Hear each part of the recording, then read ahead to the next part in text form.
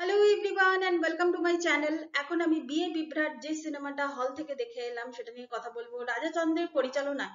এই সিনেমায় মুখ্য চরিত্রে যারা যারা আছে, আবির, পরমব্রত, লহমা সহ আরও অনেকে। তো সিনেমাটা আমার কেমন লাগল? আমার কাছে এক কথায় সিনেমাটা, রাজা চন্দ্রের যে মানে যে কটা আমি পরিচালিত যে কটা সিনেমা দেখেছি, তার মধ্যে থেকে এটা ভালো হয়েছে। মানে এক কথায় এন্টারটেনিং এই সিনেমাটা। এখানে যদি গল্পটা যদি সামান্য করে বলি যে লহমার ক্যারেক্টার তাকে গান শেখায় হচ্ছে পরমব্রত সে হচ্ছে তার গানের মাস্টারমশাই।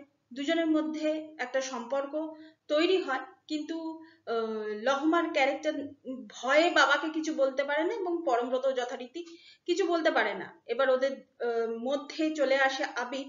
সেটা হচ্ছে ওই অ্যারেঞ্জ ম্যারেজের তরফ থেকে আবিরের চরিত্রের আবির্ভাব ঘটে।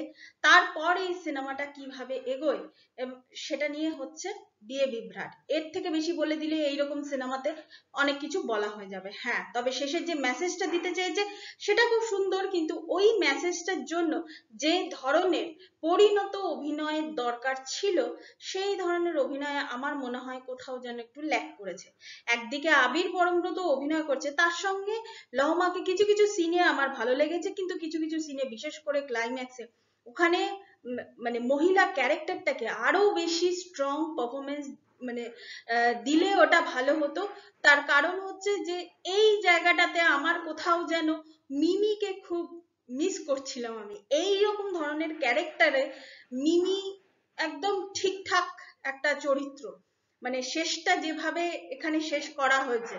তো যাই হোক, তো এখানে শেষে একটা সারপ্রাইজ আছে। আমি যদিও ট্রেলার যখন এটা এসেছিল তখনই বলেছিলাম যে এরকম নয় এ, নয় ও, নয় তৃতীয় ব্যক্তি কেউ চলে আসবে, তো এটা আমি ট্রেলারেই বলে দিয়েছিলাম। তো যাই হোক, আমি স্ক্রিপ্টও জানি না, গল্পও জানি না, আমার আমার কাছে কিছুই নেই, আমার কাছে কোনো সোর্সই নেই।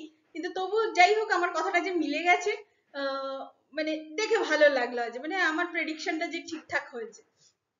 তো এই সিনেমাটাতে আমি যদি আবির আর পরমব্রতকে বলি দুজনের কেমিস্ট্রি কিন্তু আমার ভালো লেগেছে আবির আর পরমব্রত। এই দুজনে এক্সপিরিয়েন্স অভিনেতা তাদের কেমিস্ট্রিটা আমার ভালো লেগেছে।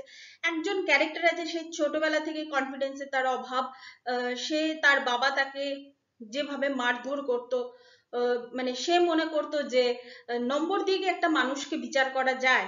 তো সেখানে সে মানে এই বিয়ে বিভ্রাটের মধ্যে সে একজন ভালো বন্ধু পেয়ে গেল।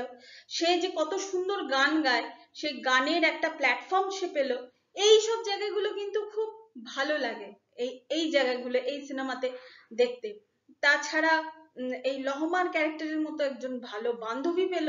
এইসব জিনিসগুলো এ, কিছু কিছু জায়গায় ভালো। ওই যে বললাম যে কিছু কিছু জায়গায় অভিনয়ের জন্য একটুখানি মনে হয় যেন সিনেমাটা ডাউন হয়ে যাচ্ছে, কিন্তু আদারওয়াইজ কিন্তু সিনেমাটা ঠিকঠাকই। কিছু কিছু সিন আছে, যেমন ঘুম থেকে একজনকে তুলে নিয়ে আসা, একজন ব্রাশ করতে করতে আসা, একজন কুম্ভকর্ণ, একজন বিভীষণ, এই ধরনের ডায়লগগুলো।